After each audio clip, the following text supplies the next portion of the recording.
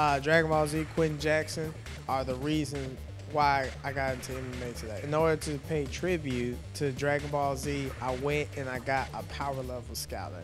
Here's a laundry list of Brimage's favorite Dragon Ball Z fights. You gotta watch these uncut though. The first time uh, Goku and Vegeta fought for Earth, Cell versus uh, Gohan when they was like hitting fist to fist. When Piccolo fought against um, Android 17, and yo, that's that that's another thing that inspired me to do body blows against Jimy Hettes. You remember how they used to punch us so hard? You used to see the fist come out the back of their shirt. Man, that, that's too many fights, man. Too many fights to just name off the top of my head. You know what I'm saying? Dragon Ball Z, action packed all the time.